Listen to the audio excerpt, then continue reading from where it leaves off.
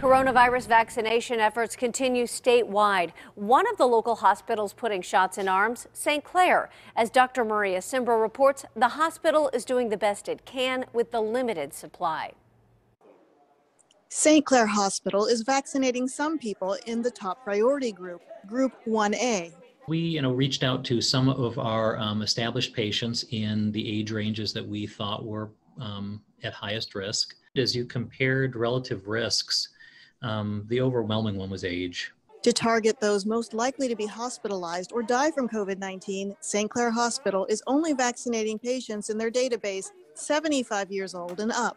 Supplies are limited. Whether we're getting one to 2,000 doses per week, um, we're going to try to do 2,000 this week based on you know, what we have. For that reason, the hospital is only immunizing a subset of this broad group that includes people 65 and up and people with cancer, obesity, COPD, and other chronic health conditions.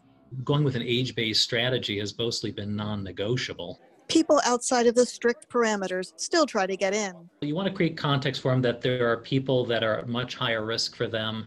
I tell people to keep their eye on several um, potential supply routes, but that pharmacies have struck me as um, uh, potentially an easier route for some people who are anxious to to get um, their dose today.